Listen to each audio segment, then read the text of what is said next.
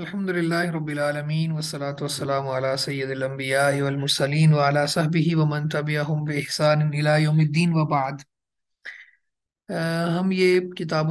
में बाबु सलात पढ़ रहे हैं यानी नफल नमाज़ का बाब उसमें जो लास्ट टाइम हमने हदीस पढ़ी थी उम्मे हबीबा उम्मुल मोमिनीन रज़ी अल्लाह से तो कहती हैं कि रसूलुल्लाह ने फरमाया कि जिसने एक दिन और रात में बारह रकत रकात पढ़ी बुनिया लहू बिहिन्ना बैतुन फिल जन्ना तो इन बारह रकात की वजह से उसके लिए जन्नत में घर बना दिया जाता।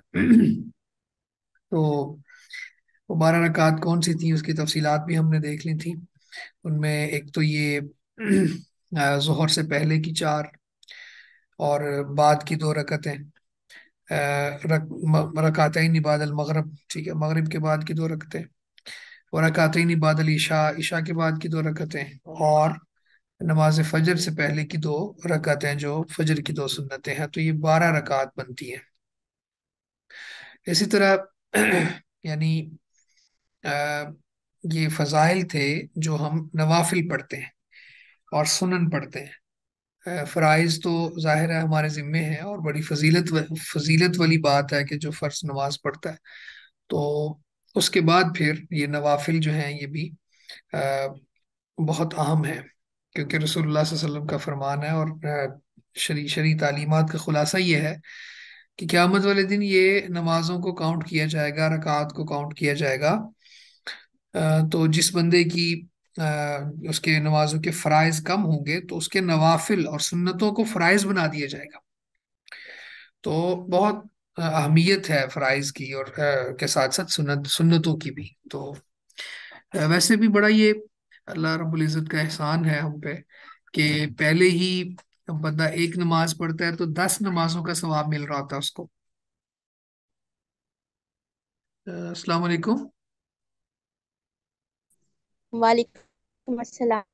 अच्छा शायद कोई डिस्टॉर्शन हो गई थी नेट डिस्कनेक्ट हो आप आवाज़ ठीक आ रही है ना मेरी? स्क्रीन भी शो हो रही है? जी सर। हम्म, जी सर हो रही है। ठीक है। तो इसमें मैं बात कर रहा था एक तो हदीस है ना कि नबी अलैहि वसल्लम का फरमान है अव्वलु मा युहासबु बिहिल अब्दु यौमल क़ियामा अस्सलाह। क़यामत वाले दिन जो सबसे पहले बंदे से हिसाब लिया जाएगा तो वो नमाज़ का होगा। तो नमाज़ में फिर जो फराइज हैं वो काउंट किए जाएँगे। एक बंदा बलूगत के बाद उसने बीस साल ज़िंदगी गुजारी है तीस साल गुजारी है। तो उसकी जितने भी नमाजें हैं, फ़र्ज़, उनको काउंट किया जाएगा। और फिर अगर फराइज कम होंगे तो नवाफिल को, सुन्नतों को फराइज में कन्वर्ट कर दिया जाएगा।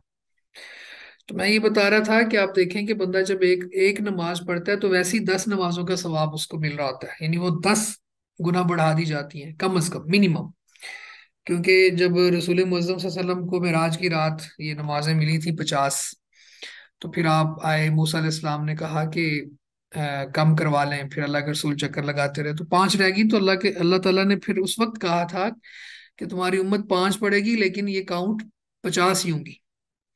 तो गोया कि एक नमाज़ दस गुना हो गई। फिर जो बाजमात नमाज़ होती है, वो इंशाल्लाह आगे हम पढ़ेंगे, सत्ताईस गुना तो इस तरह इतने ज़्यादा फजीलतें और इतनी ज़्यादा नमाजों के अजर को अल्लाह ताला बढ़ाता है, ताकि बंदा मोमिन क़यामत वाले दिन फिर उसकी कैलकुलेशन में नमाजें पूरी हो जाए। तो एक यहाँ पे जो हम ततव्वु यानी नवाफिल का जो बाप पढ़ रहे हैं, इस हवाले से भी बड़ा अहम है कि ये फिर फराइज अगर कम हो जाएँगे तो नवाफिल को फराइज बना दिया जाएगा और नमाजें पूरी की जाएँगी। तो हिसाब होगा, ठीक है? हिसाब रियाजी को कहते हैं ना, अव्वलु मा युहासबु बिहिल कैलकुलेशंस होती हैं उसमें। तो वहाँ पे नमाजें काउंट की जाएँगी फिर। तो खैर, ये हम पढ़ रहे थे। तो यहाँ तक ये थोड़ा सा मैंने पिछला दोहरा दिया रिकैप कर दिया कि ये जो बारह रकात हैं, इनसे एक फ़ायदा ये भी होता है कि अल्लाह ताला जन्नत में एक घर, एक महल, यानी घर बना देता है। इसके बाद आगे मुख्तलिफ़ नमाजों से पहले बाद की सुन्नतों के हवाले से है। वलिल खमसा अनहा और ये उम्मे हबीबा रज़ी अल्लाह अन्हा ही से मरवी है। मन हाफज़ अला अरबइन कब्ल ज़ुहरी व अरबइन बादहा अला नार। मन हाफज अला अरबाइन कबल जोहर। जिसने मुहाफजत की चार रकतों पर कबल जोहरी जोहर से पहले। व अरबाइन बादहा और चार रकतों पर उसके बाद। यानी जोहर से पहले चार रखते और जोहर से बाद की चार रखते हैं इन दोनों पर मुहाफजत की तो हर्रमार तो अल्लाह ताला उसको आग पर हराम कर देंगे। तो ज़ाहिर है ये भी बड़ी फजीलत की बात है फिर। तो यानी मुहाफजत का माना क्या है कि वो अपनी ज़िंदगी में इसको मुसलसल इस पे अमल करे, कभी ना छोड़े। तो ये है। तो मुहाफजत फ़र्ज़ पर तो होनी होनी है, नवाफिल पर भी वो इतने, इतना वो करता है। फोकस करता है वो शख्स और पढ़ता है और पहले जाता है। ज़ाहिर है जब मस्जिद में जाके बाजमात नमाज़ अदा करनी है तो फिर थोड़ा पहले ही जाना पड़ेगा ताकि चार रखते पहले पढ़ लें, बाद में भी पढ़ लें। इसी तरह घर में अगर हमारी किसी बहन ने नमाज़ पढ़नी है तो वो भी जोहर की चार फराइज से पहले थोड़ा वक्त उसको लगेगा, वो चार रखते पड़ेगी फिर जहर की चार पड़ेगी उसके बाद की चार पड़ेगी तो गोया ये है तो तब वही लेकिन उसकी फजीलत क्या है कि अगर कुछ इस पर मुहाफजत करे तो अल्लाह ताला ने उस पर आग को हराम कर दिया इसके बाद अब्दुल्ला बिन उमर रज़ी अल्लाह से है कहते हैं कि रसूलुल्लाह वसल्लम ने फरमाया राहिम अल्लाह इमरान सल्ला अरबान कबल असर राहिम अल्लाह इमरान उस बंदे पर अल्लाह ताला रहम फरमाए। बंदा और बंदी दोनों ही इसमें शामिल होते हैं यानी आ, कोई भी उम्मती सल्ला अरबान कबल असर जो असर से पहले चार सुन्नतें पढ़ता है। चार रकात असर की, असर के फराइज से पहले जो पढ़ता है, उस पर अल्लाह ताला रहम फरमाए। ये मुस्नद अहमद में भी है, अबू दाऊद में भी, तिरमजी में भी और इमाम तिरमजी ने इसको हसन करार दिया है और इबन खुजामा ने भी इसको बयान किया है और उसने इसको सही कहा है। तो ये हदीस हमारे पास है, बिल्कुल अथेंटिक है और आप देखें कि रसूलुल्लाह सल्लल्लाहु अलैहि वसल्लम की जो दुआ लेना चाहता है अब इस वक्त भी तो वो असर से पहले, यानी असर के फ़राइज से पहले चार रकतें सुन्नत अदा कर ले। तो एक बात तो इसमें बड़ी शान वाली और फजीलत वाली बात यह है कि अल्लाह के रसूल वसल्लम की दुआ का मुस्तक है। आपने दुआ दी है उसको। और दूसरी बात यह है कि अल्लाह की रहमत की दुआ की है। तो जब अल्लाह की रहमत मिल जाती है ना, फिर कोई चीज़ भी पीछे नहीं रह जाती। तो अल्लाह की रहमत से मुराद क्या है कि अल्लाह ताला हर चीज़ में फिर बरकत डाल देते हैं, मामलात को समेट देते हैं। फिर आदमी जो है वो इसबाब का मोहताज नहीं रहता, फिर अल्लाह ताला खुद इसबाब भी पैदा कर देते हैं। तो ये बड़ी फजीलत वाली बात है कि अब अल्लाह के रसूल हमें मौजूद नहीं है, हम उनसे जाके नहीं कह सकते कि अल्लाह के रसूल हमारे लिए दुआ करें कि अल्लाह हम पर रहम, रहमत नाजिल करे या हम पर रहम फरमा दे। लेकिन इस हदीस का मिसदाक बन के हम उस दुआ को हासिल कर सकते हैं। तो बड़ी खूबसूरत दुआ है ये हदीस है ये। इसके बाद अब्दुल्ला बिन मुगफ़ल अलमुजनी रज़ी अल्लाह कहते हैं कि नबी मुकरम वसल्लम ने फरमाया सल्लु कबल मगरिब। मगरिब से पहले नमाज़ पढ़ो। सल्लु कबल मगरिब। मगरिब से पहले नमाज़ पढ़ो। अच्छा, मगरिब से मुराद ये नहीं है सूरज गुरूब होने से पहले बल्कि मगरिब के फ़र्ज़ जो तीन है उससे पहले की नमाज़। तो यानी मगरब के जो तीन फ़र्ज़ हैं उनसे पहले नमाज़ पढ़ो उनसे पहले नमाज़ पढ़ो। सुम्मा काल फिसालिसा और तीसरी दफ़ा फिर आपने फरमाया लिमन शाह। जो चाहे वो पढ़ लें। अगर आप ये ना ना कहते लिमन शाह आप तो फिर वो फ़र्ज़ हो जानी थी यानी अजान और इकामत के दरमियान की जो दो सुन्नतें हैं ना यानी इसको अब तहियतुल मस्जिद कह लें ठीक है? और आ, ये भी कह सकते हैं आप कि मगरिब की अजान और जमात की जो इकामत है उसके दरमियान। वैसे तो हर अजान और इकामत के दरमियान रकतें हैं तो उनमें से ये भी है। तो अगर आप ये लिमन शाह ना कहते तो चूँकि अमर था और अमर वजूब के लिए होता है, जब तक कोई करीना ना हो तो फिर ये वाजिब हो जानी थी। तो आपने ये देखें आगे, कराहियत सुन्नतन। यहाँ सुन्नतन बमाना फ़र्ज़ है। तो इस बात को नापसंद करते हुए कि कहीं लोग इसको वाजिब ही ना समझ लें। तो आपने आखिरी मरतबा, तीसरी मरतबा, लिमन शाह कह दिया। तो और भी रिवायात मौजूद है कि सिहावा जब मस्जिद में जाते तो लोग अभी फ़र्ज़ नमाज़ खड़ी नहीं हुई होती थी, इकामत उसकी नहीं होती थी तो उससे पहले नमाज़ पढ़ रहे होते थे। यूँ लगता था जैसे जमात हो चुकी है और बाद की सुन्नतें लोग पढ़ रहे हैं। इतना एहतमाम था इन सुन्नतों का। और इसमें भी कोई शक नहीं कि मगरिब का जो वक्त होता है, बड़ा मुख्तसर होता है। तो बाज लोग इस बात को बहाना बना के इन सुन्नतों को स्किप कर जाते हैं। कहते हैं, जी नहीं, चूँकि वक्त बड़ा मुख्तसर है, इसलिए फिर हम ये क्यों पढ़ें? तो ऐसी बात नहीं है, जब अल्लाह के रसूल वसल्लम से सहाबा कराम से भी साबित है, आप पढ़ते थे, आपने हुक्म भी दे दिया और फिर उसको वजूब से इस्तेहबाब की तरफ़ फेर दिया, लिमन शाह कह के। तो इसका माना ये हुआ कि पढ़नी चाहिए, फिर फिर इस, इतना भी तंग नहीं है वक्त के, ये दो सुनते भी ना पढ़ी जाए तो ये दो सुनते भी पढ़ें और फिर फ़र्ज़ भी पढ़ लें तो क्या ही बात है। लेकिन बहरहाल, ये जो चाहे वही पढ़े, क्योंकि अल्लाह के रसूल का वाज फरमान भी है और ये है भी नवाफिल। वफ़ी रिवायत इबन हिब्बाना, और इबन हिब्बान की रिवायत में अन्न नबी सल्लल्लाहु अलैहि वसल्लम सल्ला कबल मगरबी रकातें कि बेशक नबी मुकर्रम सल्लल्लाहु अलैहि वसल्लम ने मगरिब से पहले दो रकतें पढ़ी। अगली हदीस भी इसी से मुतलिक है। वली मुस्लिम अनस रज़ी अल्लाह काल, और सही मुस्लिम में अनस रज़ी अल्लाह तु से है। उन्होंने कहा, कुन्ना नुसल्ली रकातैनी बाद गुरूब शम्स। हम गुरूब शम्स के बाद, यानी सूरज के गुरूब होने के बाद दो रकतें पढ़ते थे। फ़काना सल्लल्लाहु अलैहि वसल्लम यराना, और अल्लाह के रसूल वसल्लम हमें देखा करते थे। फलम यमुरना वलम यनहाना। और ना ही आप हमें हुक्म देते थे, ना ही मना करते थे। यानी ना आपने हमें हुक्म दिया और ना ही मना किया। आपने ये भी नहीं कहा कि ये ज़रूर तुम पढ़ते हो तो पढ़ते ही रहो, ये वाजिब है, ये भी नहीं फरमाया। और ये भी नहीं कहा कि क्यों पढ़ते हो? मना भी नहीं किया, ठीक है? तो दोनों, इसका मतलब क्या हुआ कि ये मुस्तहब रकात हैं और इनकी इजाज़त शरीयत ने दी है। तो आपका खुद अपना अमल भी पिछली रिवायत में गुजर चुका है। और उससे पहले आपका हुक्म भी गुजर चुका है और तीसरा फिर ये तकरीरी हदीस भी आ गई है। आप जरा ये देखें, आप उसूल हदीस में आपने पढ़ा होगा कि कौली फेली और तकरीरी। तो आपकी कौली हदीस इस हवाले से ये है, सल्लु कबल मगरब। और आपकी जो फेली हदीस है, यानी आपने जो अमल किया वो ये है, अन्न नबी वसल्लम सल्ला कबल मगरब। ठीक है, आपने खुद अमल करके दिखा दिया तो फेली हदीस हो गई। और तकरीरी अज़ीज़ क्या होती है कि आपके सामने कोई काम हुआ हुआ हो और आपने उसको उसको रोका ना हो।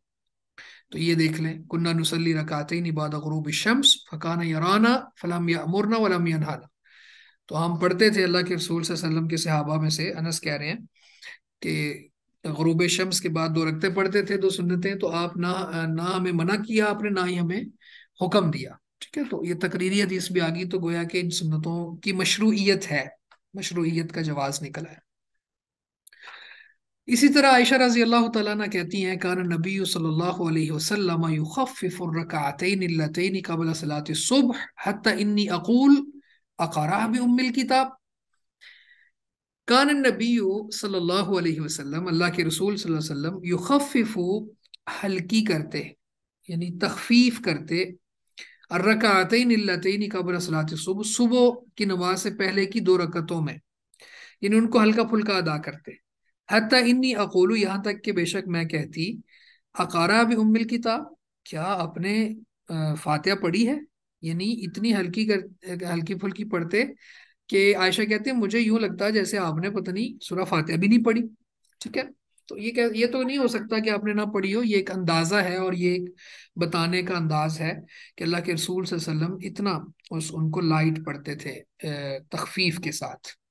आगे आ रहा है कि क्या पढ़ते थे? अबू हुरैरा रज़ी अल्लाह तु कहते हैं कि नबी वसल्लम कारा फ़ी रकाते अलफजरी कुल या काफिरून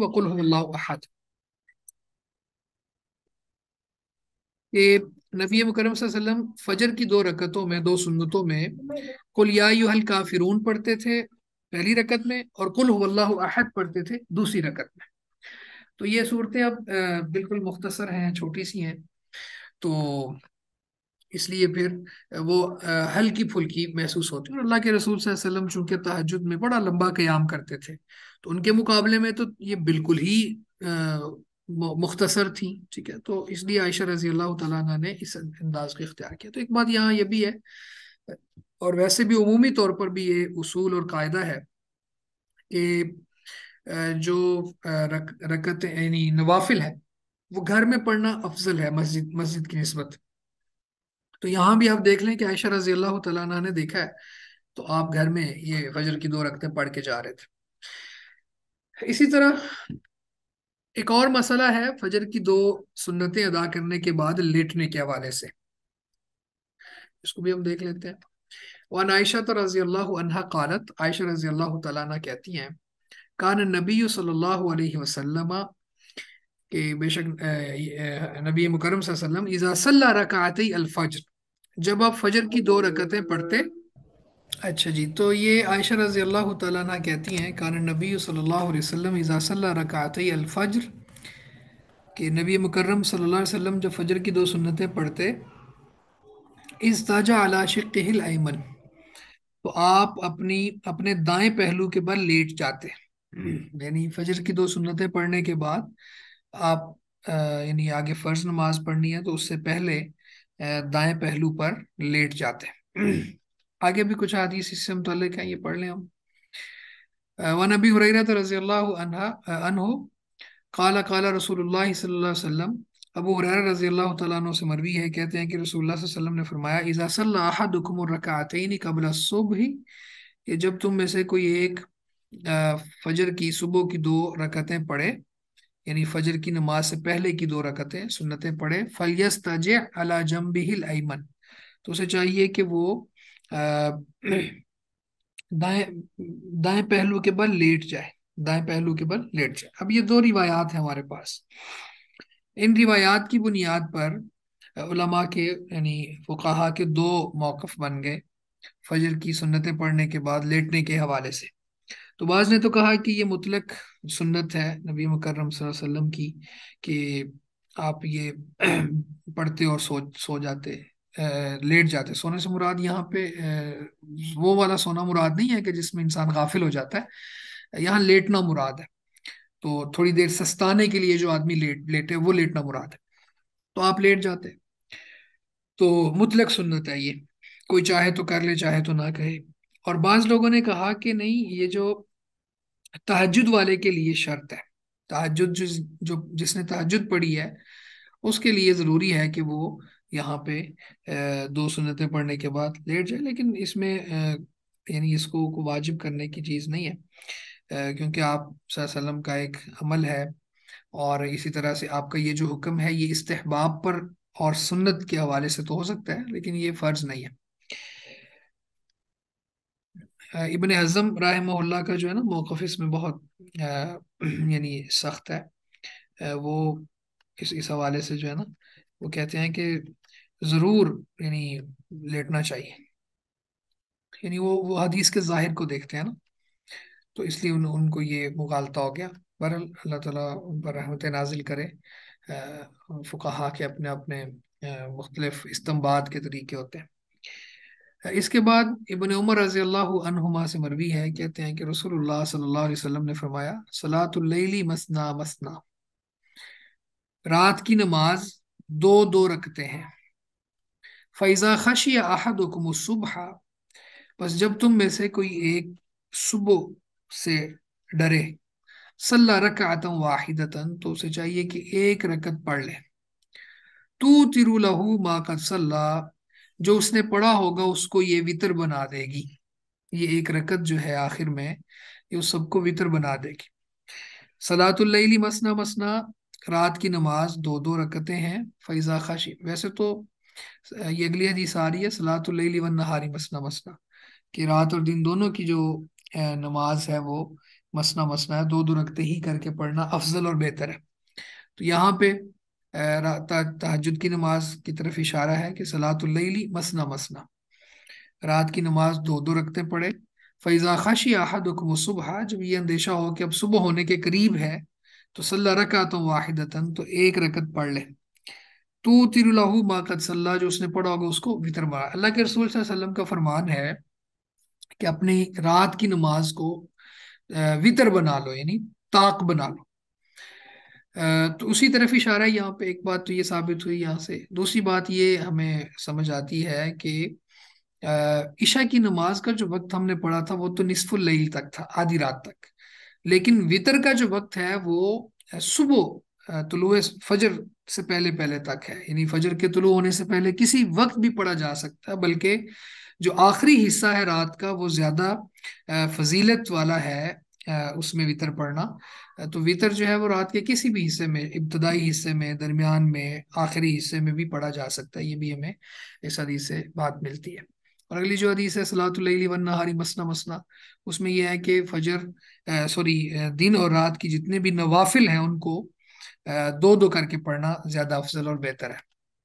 इसी तरह अबू हुरैरा रज़ी अल्लाह तला अनो से मरवी है, काला रसूल मुअज्जम सल्लल्लाहु अलैहि वसल्लम फरमाते हैं, अफजल सियामी बाद रमज़ान शहरुल्लाह मुहर्रम। अफजल सियामी। रोजों में से अफजल रोज़े बाद रमजाना, रमज़ान के बाद शाहरुल्लाह मुहर्रम, अल्लाह के महीने मुहर्रम के हैं। यानी रमज़ान के बाद मुहर्रम के दिन दिनों के जो रोज़े हैं, वो अल्लाह को ज़्यादा पसंदीदा है। यानी अल्लाह के यहाँ वो ज़्यादा अफजल है। वह अफजल सलात बाद फरीजती सलातुल्लैल और नमा, फ़र्ज़ नमाज़ के बाद सबसे अफजल जो नमाज़ है, वो तहजद की नमाज़ है सलातुल्लैल है। यानी सलातुल्लैल क़यामुल्लैल ठीक है तहजद तरावी, ये सारी एक ही नमाज़ के नाम है, मुख्तलिफ़। तो यानी रात की जो नमाज़ है तहजद की नमाज़, फ़र्ज़ नमाज़ के बाद वो अल्लाह को सबसे ज़्यादा महबूब है। आप ये देखें कि नमाज़, जो नफल नमाज़ है, उसकी बहुत सी अकसाम है। उसमें अभी आगे हम पढ़ेंगे कि चाश्त भी है, वितर भी आ गया, ये भी नफल है। इसी तरह से, खैर, वितर तो पढ़ा ही उस वक्त जाता है तो उसको सलातुल्लैल में ही हम शुमार करेंगे। आ, उसके अलावा जो इस्तारे की दुआ है सॉरी नमाज़ है सलातुल हाजा है ठीक है इशराक की नमाज़ है जितनी भी नमाजें हैं नफल उन सबसे बेहतरीन नमाज़ सलातुल है। वही हदीस रसूलुल्लाह वसल्लम का जो फरमान है सल्लु बिल्लैल वन्नासुनियाम तदखुलुल जन्नत बिसलाम। कि उस वक्त नमाज़ पढ़ा करो जब लोग सो रहे होते हैं, यानी मुराद है तहजद की नमाज़ मुराद है। तो फरमाया, तदखुलुल जन्नत बिसलाम जन्नत में तुम सलामती के साथ दाखिल हो जाओगे। तो बड़ी फजीलत वाली नमाज़ है तहजद की नमाज़। तो चूँकि ये तत्वों की तरफ़ बात चल रही है सारी तो इसलिए उसमें इबन हजर रहमल्ला ये हदीस ला के ये बात साबित करना चाहते हैं कि नवाफिल में से सबसे बेहतरीन और अफजल तरीन जो नमाज़ है, वो तहजद की नमाज़ है, जिसको सलातुल्लैल कहा जाता है। इसके बाद नमाज़ वितर के हवाले से एक मसला है, वो भी हम इंशाल्लाह यहाँ देख लेते हैं। अबू अयूब अंसारी रज़ी अल्लाह अनहु बयान करते हैं कि बेशक रसूलुल्लाह सल्लल्लाहु अलैहि वसल्लम ने फरमाया अलवित्र हक़्क़ुन अला कुल्ल मुस्लिम।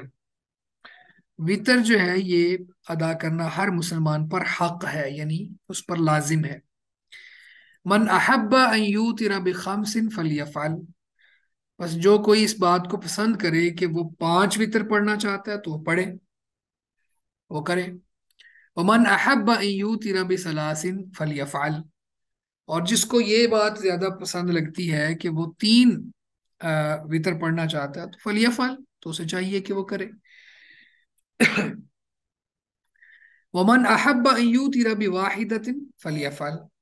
और जिसको ये चीज़ ज़्यादा पसंद है कि वो एक वितर पढ़े, फलियाफल तो उसे चाहिए कि वो एक पढ़ ले। तो यानी जिसको पाँच पसंद है वितर पाँच पढ़ ले, जिसको तीन पसंद है तीन पढ़ ले, जो एक पढ़ना चाहता है, एक पढ़ ले। अरबातु इल्ला तिरमिजी। वसह इब्न हिब्बान। वरज्जह नसाई वक्फहू।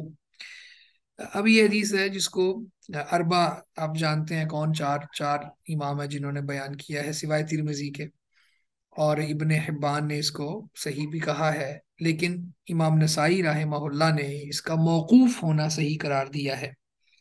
तो मौकूफ होने का माना क्या है कि यानी सिहाबी की जो बात है ना, वहाँ तक इसको रखेंगे। यानी मौकूफ जो हदीस मरफू मरफू वो होती है जो अल्लाह के नबी सल्लल्लाहु अलैहि वसल्लम तक पहुँचे और मौकूफ वो होती है कि जो आ, किसी सहाबी तक पहुँचे। तो अब ये हदीस हमारे पास है तो अब यहाँ से एक मसला तो ये अखज होता है कि यानी ज़ाहरी तौर पर अगर हम देखें कि अलवितर हक़ अला कुल मुस्लिम का मतलब ये हुआ कि वितर वाजिब हो गया। यानी ये नवाफिल से निकल के फ़राइज़ में चला गया। लेकिन इसके बहुत से जवाब एक तो यह है कि ये मौकूफन सही है तो यहाँ एक थोड़ा सा मसला पैदा हो गया। दूसरी बात यह है कि आप देखें कि इबन हजर रहमा इस हदीस को सलात तत्वों में लेके आए हैं।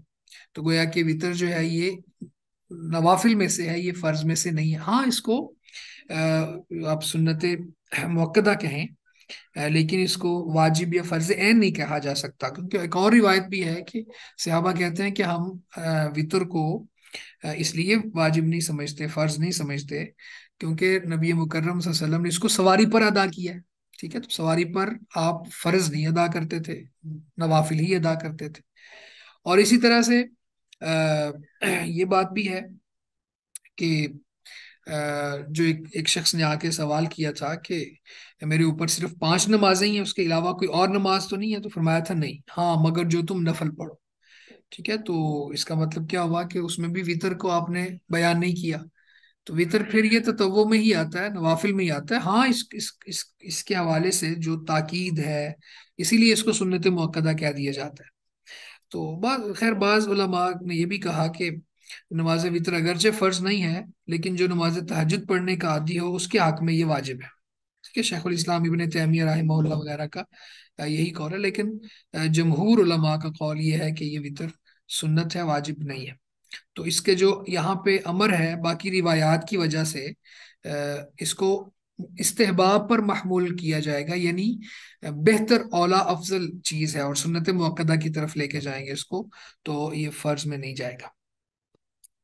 आप अगली रिवायत भी देख लें। अली बिन नबी तालिब रज़ी अल्लाह से कहते हैं लई सल वित्रु बेहतमिन कहतिल मकतूबा। यानी ये पीछे जो आया था ना, वित्र हक अला मुस्लिम तो उस उस वाजिब के जो करीने को इस्तेहबाब की तरफ़ फेरने वाली ये अगली रिवायत भी है कि लई सल वित्रु बेहतमिन कहतिल मकतूबा।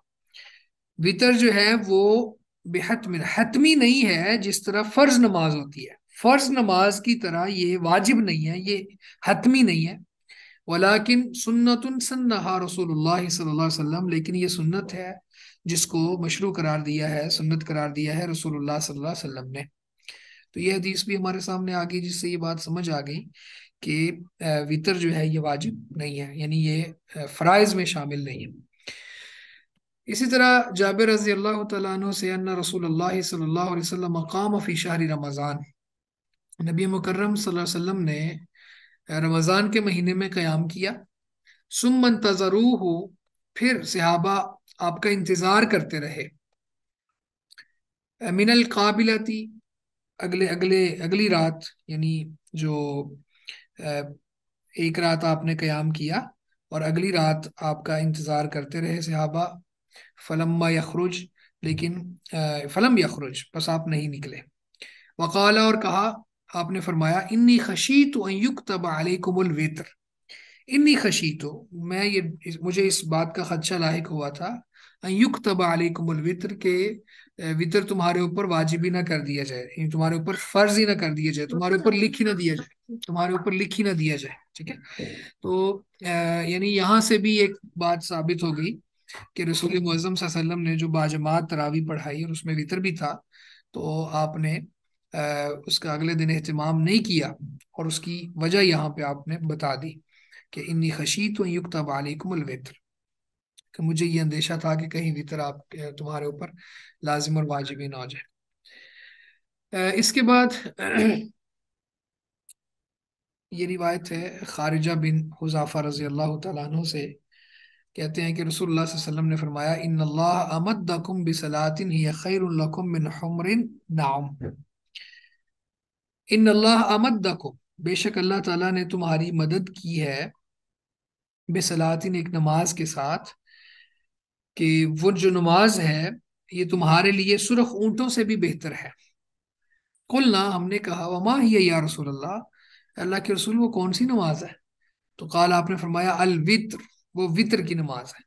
माबईन सलात फज्र जो नमाज़ इशा के बाद से लेके तुलु फजर के दरमियान दरमियान किसी वक्त भी पढ़ी जा सकती है। तो ऐसा हदीस में एक तो ये बात साबित हुई कि ये जो, वैसे तो ये रिवायत जो है इमाम बुखारी रहमहुल्लाह ने इसको ज़यीफ़ करार दिया है, लेकिन फिर भी इससे थोड़ी फजीलत साबित होती है, लेकिन इस फजीलत हतमी नहीं होगी फिर, क्योंकि ये रिवायत सही सनद के साथ साबित नहीं है। तो खैर, ये जो माबीन सलातिल इशाई इला है, कि ईशा की नमाज़ से लेके फजर के तुलू होने तक इसका वक्त है तो ये बात तो पीछे भी रिवायात से साबित है। तो बाकी ये है कि चूँकि ये तहजद की नमाज़ को, को ताक बनाने के लिए पढ़ा पढ़ा जाता है वितर तो ये जो फजीलत है ये इन अल्फाज के साथ तो साबित नहीं है लेकिन जो पीछे हम ये पढ़ चुके हैं कि बादल फरीजा यानी फ़र्ज़ नमाज़ के बाद अल्लाह को अल्लाह के यहाँ जो सबसे ज़्यादा अफजल नमाज़ है वो सलातुल लैल है तो, तो इस हवाले से फजीलत में ये बात काफ़ी है। और अहमद अन अमर इबन अन नबी जद्दी नाहू तो इस सनद के साथ मुस्नद अहमद में भी एक रिवायत इसी तरह की मौजूद है। अच्छा ये जो पीछे कुछ रिवायत पढ़ ली और यहाँ पे एक रिवायत है, जिस जिस हवाले से बाज ने ये कहा कि वितर जो है ये वाजिब है। उसमें थोड़े अल्फाज ज़रा सख्त हैं। वो ये है, अब्दुल्ला बिन बुरैदा रज़ी अल्लाह अपने वालद गिरामी से बयान करते हैं, यानी बुरैदा से। कि उन्होंने कहा कि रसूलुल्लाह सल्लल्लाहु अलैहि वसल्लम ने फरमाया अल वित्रु हक़्क़ुन फमन लम युतिर फलैसा मिन्ना. जो वित्र है, वो वाजिब है। बस जो कोई वितर नहीं पढ़ता, वो हम में से नहीं है। अब जरा देखें, ये ये जो अल्फाज हैं, इन अल्फाज की वजह से फिर इसको ये ले लिया जाता है कि वितर वाजिब ही है। फलैसा मिन्ना के अल्फाज आ गए लेकिन अब देखें, अखरजह हो दाऊद अबू दाऊद ने इसको बयान किया है, बिसन, बिसनदिन लय्यिन एक ज़ईफ सनद के साथ। वसहाहुल हाकिम हाकिम ने इसको खैर सही कहा तो उन तक इसकी तोजी नहीं पहुँची होगी। वलाहु शाहिदुन ज़ईफुन अन अबी हुरैरा इंद अहमद, और इसका एक और शाहिद शाहिद का मतलब क्या होता है? इसी इसी माने की एक और रिवायत भी है, लेकिन वो भी ज़ईफ है, और अबू हुरैरा रज़ी अल्लाह अन्हु की तरफ़ वो मंसूब है, और मुस्नद अहमद में है। तो अब ये रिवायत साबित नहीं है, ठीक है? ये अबुल मुनीब एक रावी है इसके अंदर, जिसकी वजह से ये ज़यीफ़ है। तो ये चूँकि अगर इसका शाहिद भी ज़ईफ है तो दोनों ही ज़यीफ़ हैं, इसलिए इससे ये मसला निकलता ही नहीं है कि जिसने वितर नहीं पढ़ा वो हम में से नहीं। अगर ये सही होती तो फिर वितर वजूब के दर्जे में और फ़र्ज़ के दर्जे में चला जाता। तो अब चूँकि नहीं है तो इसलिए यहाँ से ये मसला खस नहीं होता। तो वितर के हवाले से जो पीछे बात हो चुकी है, वही है कि ये सुनत मुअक्कदा में आता है। ये फ़र्ज़ में नहीं आता। जी जी। अम, लेकिन हदीस के अल्फाज से ऐसा नहीं पता चला क्योंकि उसमें कहा कि अ, नबी सल्लल्लाहु अलैहि वसल्लम ने फरमाया तो उसको हम मौकूफ क्यों कहेंगे? हदीस थी हज़रत अबी हाँ। अयूब अंसारी वाली गालिबन ठीक है।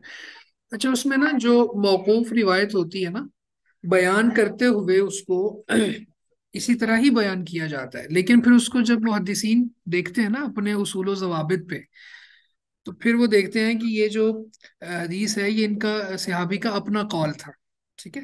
तो बयान करने वाले, असल में वो मसला ही वहाँ पे होता है कि बयान करने वाले ने उसको इस अंदाज में बयान कर दिया कि शायद वो मरफू है, लेकिन हकीकतन वो मौकूफ होती है कि वो सहाबी का अपना ही कौल होता है। सल्लल्लाहु से वो मरवी नहीं होता। ठीक है? तो ये मुहदसिन फिर इसको चेक करके और अपने उस क्राइटेरिया पे ना आने की वजह से फिर मौकूफ कह देते हैं क्योंकि वो मरफू पे नहीं आ रही होती। आप अब देखें कि अब जयीफ रिवायत है ना? हाँ अब जयीफ रिवायत है ना कोई तो वो भी इसी तरह ही होती है। कि काला फलां सहाबी से, काला अलैहि वसल्लम, फला फला, ये सारा कुछ होता है। अब देखने में तो हदीस तो नहीं बता रही कि मैं ज़ईफ हूँ, क्योंकि उसमें सहाबी भी मौजूद है और फिर आगे नस्बत भी अल्लाह के रसूल की तरफ़ है और पूरी आपकी स्टेटमेंट नकल की जाती है। लेकिन जब उसको मुहद्दिसीन अपने उसूलों में देखते हैं तो फिर वो ज़ईफ होती है। जी।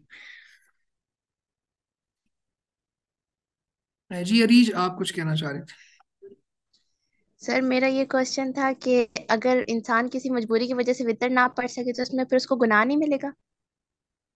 हाँ यही तो यानी इसको हमने समराइज किया है। खुलासा यही है कि सुन्नत मुअक्कदा का तारिक होता है ना, उसको गुनाह नहीं मिलता।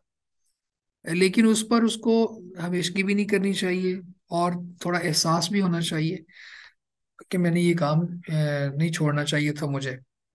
और फिर उसका इजाला भी किया जा सकता है इंशाल्लाह आगे हम पढ़ेंगे अभी ना नमाज़ के बाद, कि उसका इजाला कैसे मुमकिन है। तो बहरहाल ये नहीं हो सकता कि कोई वितर नहीं पढ़ पढ़ सका तो ऐसे ही है जैसे उसने ईशा की, ईशा के फ़र्ज़ नहीं पढ़े ऐसा नहीं होगा। यानी इसको हम कैटेगराइज करेंगे, यानी ये तत्वों में है, वो फ़र्ज़ में है।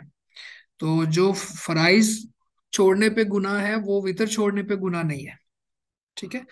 तो और फिर यह है कि हाँ सवाब में कमी है और एक मोमिन का जो हुसन है और फिर नबी मुकरम वसल्लम की इत्तबा और आपकी जो सुन्नत और आपकी उस हसना पे पूरा पूरा अमल करना, वो मुतासर होता है फिर इससे। लेकिन उस पर गुनाह का कोई कोई नहीं कह सकता कि आपको गुनाह हो रहा है। जी।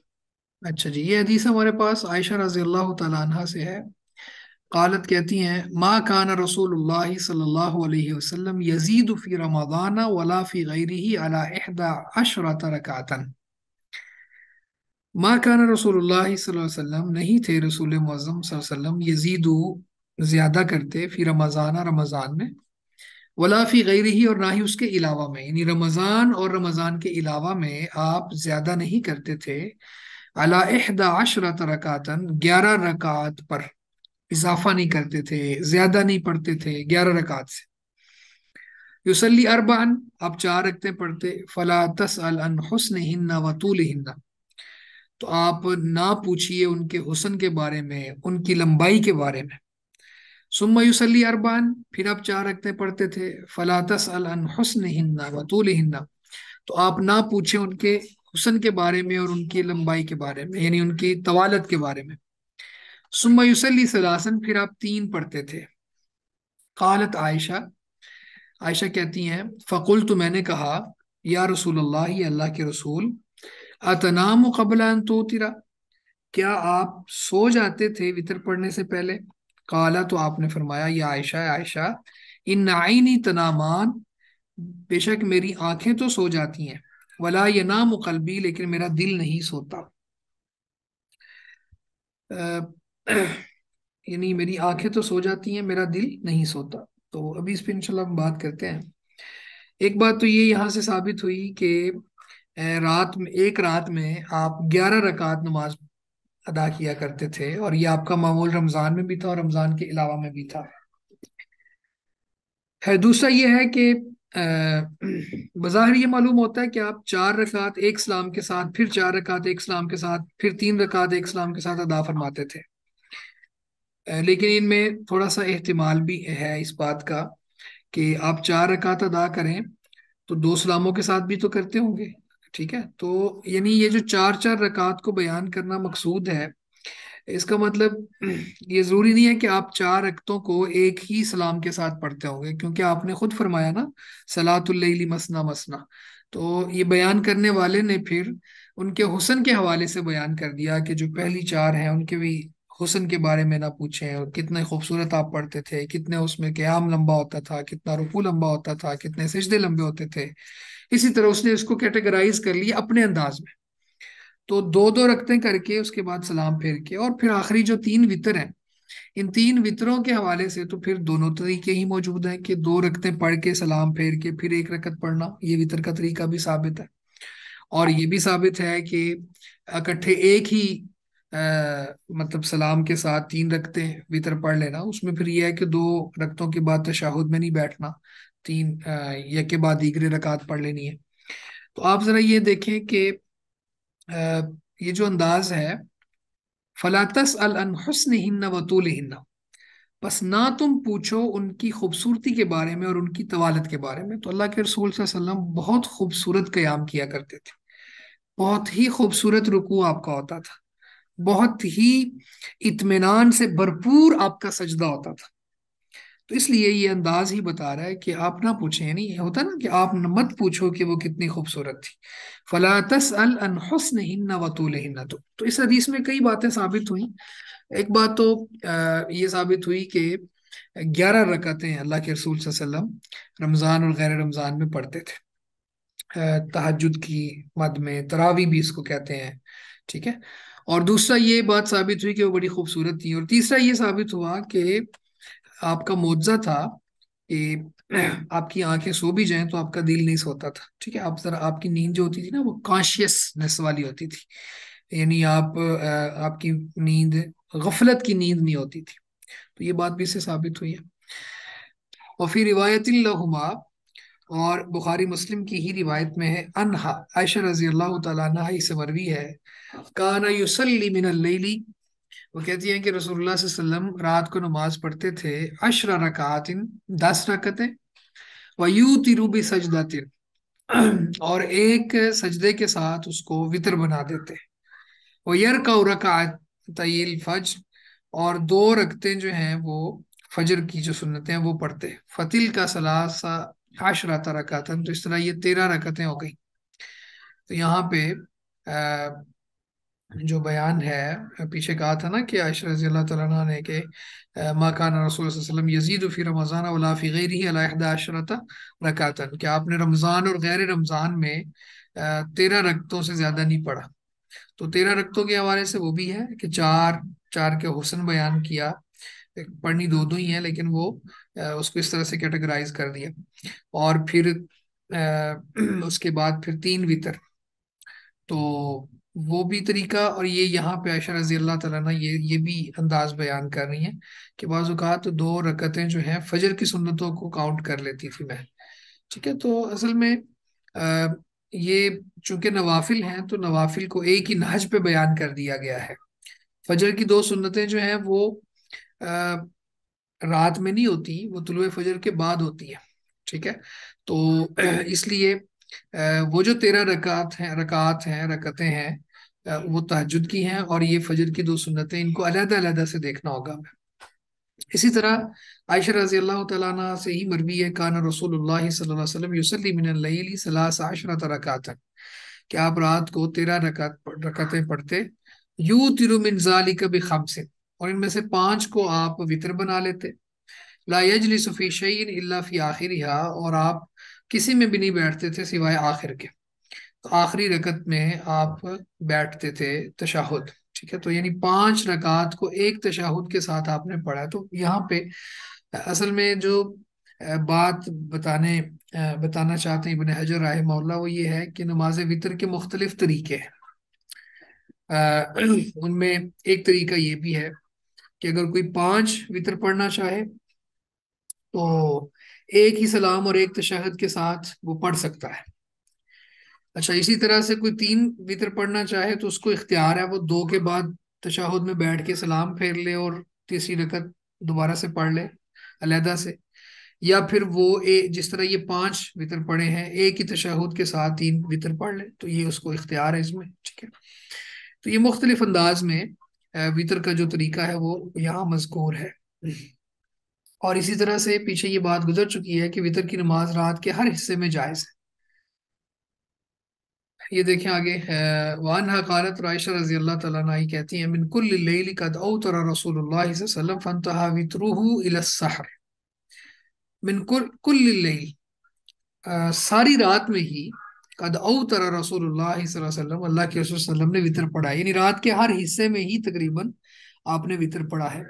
फन तहा वितरुहु बस आपके वितर का जो वक्त था वो खत्म हो जाता था इला सहर सहरी के वक्त। यानी सहरी के वक्त जो है आपका आप वितर नहीं पढ़ते थे उस वक्त ये वितर का वक्त खत्म हो जाता है वहाँ पे सहरी के पास जाके। इसी तरह आगे ये, ये अब्दुल्ला बिन अमर बिन आस रज़ी अल्लाह तु कहते हैं कि वसल्लम ने फरमाया, या अब्दुल्ला ही है अब्दुल्ला ला तकुन मिसल फलान फलां की तरह ना हो जाना कान यकूम मिन लैल फतरा का क्याम बस वो उसने रात को क्याम शुरू किया, वो करता था फतरा का क्याम फिर उसने वो क्याम छोड़ दिया। तो ये बुखारी मुस्लिम की रिवायत है।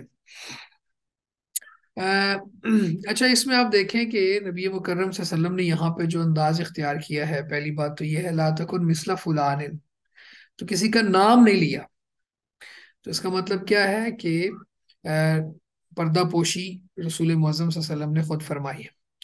तो हो सकता है बाद में तयन हो भी जाए उसकी, लेकिन इबन उमर ने फिर नाम लेना नहीं है अब्दुल्ला बिन अमर बिन आस ने नाम लेना पसंद नहीं किया। तो बहरल इसमें अंदाज ऐसा ही इख्तियार करना चाहिए कि जिसमें नाम के हवाले से इबहम हो। तो फरमाया कि वो रात को तहजद पढ़ता था फिर उसने छोड़ दिया। एक और रिवायत है नबी मुकरम वसल्लम का फरमान है इन्ना हब्बल इल्लाह अदवमुहा व इन कि अल्लाह को सबसे ज़्यादा जो पसंदीदा अमाल हैं वो वो है कि जो अगरचे थोड़े ही क्यों ना हो लेकिन आ, हमेशगी की जाए उन पर। अद व मुहा व इनकल्ला थोड़े क्यों ना हो, लेकिन उन पर हमेशगी की जा रही हो। तो तो बहरहाल ये फिर जब क्यामुल की इतनी सादत की बात है तो उसको शुरू किया, फिर उसको छोड़ना नहीं चाहिए, उस पर मुदावमत इख्तियार करनी चाहिए, और अगरचे वो क्याम थोड़ा कर लो। इसी तरह अली रज़ी अल्लाह अन्हु से है, कहते हैं कि वसल्लम ने फरमाया औ तिरू या अहल कुरान अहले कुरान वितर पढ़ो। अहले कुरान, वितर पढ़ा करो। फ़इन अल्लाह वित्र। बेशक अल्लाह ताला ताक है और ताक को पसंद करता है। अगली रिवायत भी देख लें, इब्ने उमर रज़ी अल्लाह से नबी मुकरम वसल्लम का फरमान है इजअलू आखिर सलातिकुम बिल्लैली वित्रा। अपनी नमाज़, रात की जो नमाज़ है, उसके आखिरी हिस्से को वितर बना दो। यानी अपनी नमाज़ का जो इख्तिताम करना है, रात की नमाज़ का, उसको ताक बना के करो। पिछली पिछली रिवायत में ये देख रहे हैं फ़इन अल्लाह बेशक अल्लाह ताला ताक है और ताक को पसंद करता है। तो ये गोया के वितर मशरू भी है, फिर इसके हवाले से बहुत ज़्यादा ताकीद भी है तो इसलिए इसको सुन्नत मुक्कदा में फिर रखा गया है। इसी तरह आगे तल्क बिन अली रज़ी अल्लाह से कहा कहते हैं, समेत सल्लल्लाहु अलैहि मैंने वसल्लम से सुना यकूल फरमा रहे थे, ला वितरानी फ़ी लैलतिन, एक रात में दो वितर नहीं है। तो और भी रिवायात से ये बात साबित है कि जब अ, कोई शख्स वितर पढ़ने के बाद भी कोई नमाज़ पढ़ना चाहता है तो फिर वो वितर नहीं दोहराएगा फिर वो वितर नहीं दोहराएगा। ये माना है ला वितराना फ़ी लैलतिन अ, एक रात में दो वितर नहीं है। इसके बाद वितर के अंदर पढ़ना क्या है? उसकी किरात के हवाले से ये हदीस है उबई बिन काब रज़ी अल्लाह से कहते हैं कि कान अलैहि वसल्लम युतिरु बिसब्बिह इस्म आला वकुल या तो रवाहु व नसाई व ज़ादा वला युसल्लिमु ये जो मुस्नद अहमद में भी है अबू दाऊद में भी है और नसाई में भी है और नसाई ने इजाफा किया है वला फ़ी आखिरिहिन्ना और आप सलाम नहीं फेरते थे मगर उसके आखिर में तो यानी तीन तीन वितर जब पढ़ने हैं तो उसका उसके दो तरीके हैं जो पीछे मैंने अभी बयान किए उनमें एक तरीका ये है कि एक ही तशहुद के साथ आप वो तीन वितर पढ़ लें। और दूसरा जो तरीका है, वो वो ये है कि यानी दो रकते पढ़ने के बाद सलाम फेरें और फिर उसके बाद एक एक रकत अलहदा से पढ़ लें। तो बहरहाल ये इसमें उबई बिन काब रज़ी अल्लाह अन्हु की हदीस में यह है कि स- पहली रकत में सब्बिह इस्म रब्बिकल आला, यानी सूरह अल आला पढ़ते थे, और दूसरी रकत में कुल या अय्युहल काफिरून पढ़ते थे, और तीसरी रकत में कुल हुवल्लाहु अहद पढ़ते थे। तो ये वितर में आपकी किरात के हवाले से हदीस है। इसी तरह अबू दाऊद में और तिरमिजी में आयशा रज़ी अल्लाह अन्हा से इस तरह की हदीस है वफ़ी है उसमें कुल्लु सूरतिन फ़ी रकातिन हर सूरत एक रकत में यानी पीछे जो सूरतों के नाम गुजरे हैं ना तो हर रकत में एक सूरत वफिल अखीरती और आखिर में कुल अहद मुअव्वज़तैन। आखिरी रकत में कुल हुवल्लाह के साथ मुआवजा तैन भी मशरू है ये भी पढ़ते थे। तो ये मसनून होगी किरात अ, लेकिन आदमी पे है वो जो भी पढ़ना चाहे उसमें उसको पाबंदी नहीं है। इसी तरह अबू सईद खुदरी रज़ी अल्लाह अन्हु कहते हैं कि नबी वसल्लम काल औतिरू क़ब्ल अन वितर पढ़ो इससे पहले कि सुबह हो जाए।